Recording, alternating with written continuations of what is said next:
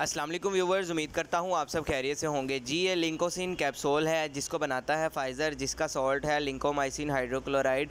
जो कि इस्तेमाल होता है इन्फेक्शन वगैरह को ख़त्म करने के लिए एंटीबायोटिक के तौर पर इस्तेमाल किया जाता है जिसम के किसी हिस्से पर रेशा हो उसको ये ख़त्म करता है